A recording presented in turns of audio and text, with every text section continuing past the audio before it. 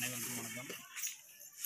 திண்டுக்கல் மாவட்டம் ஒட்டஞ்சத்திரத்துக்கு பக்கத்தில் உள்ள விருப்பாச்சி கிராமத்தில் உள்ள தலையூற்று என்ற இடத்தில் இருக்கிறோம்.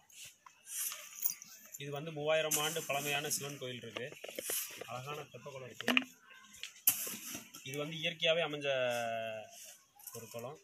மேலிருந்து அருவி வரும். ரொம்ப அழகான இடம். இந்த இடத்துல பார்த்தீங்கன்னா மனுஷன் பார்க்கறதுக்காக வந்த இடத்துல எவ்வளோ குப்பை போட்டிருக்காங்கன்னு பாருங்க. இவ்வளோ குப்பையும் அந்த மனுஷங்க போட்டது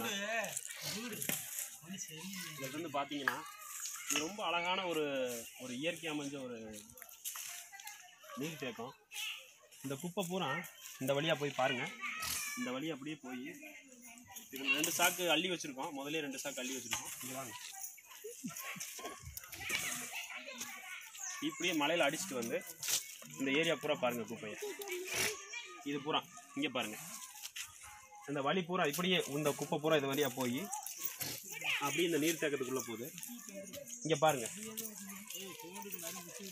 இங்கே பார்த்தீங்கன்னா எவ்வளோ குப்பை இருக்குன்னு தெரியும். இந்த குப்பை பூரா அடிச்சுட்டு போய் அப்படியே தண்ணிக்குள்ளே தான் போகுது.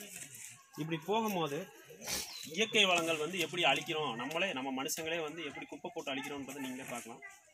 தயவு செய்து நாங்கள் என்ன சொல்ல வரோம்னா இன்- வந்து நான் என்னோடய குடும்பத்தோட என் குழந்தைகளோட வந்து நான் அந்த கோயிலை சுத்தம் பண்ணிகிட்ருக்கேன்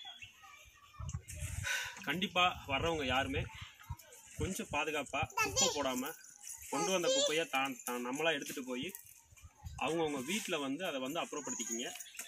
தயவு செய்து உங்களை கெஞ்சி கேட்டுக்கிறோம். இயற்கையை வந்து தயவு செய்து அழிக்காதீங்க. இயற்கை வளத்தை பாதுகாப்போம். நன்றி வணக்கம்.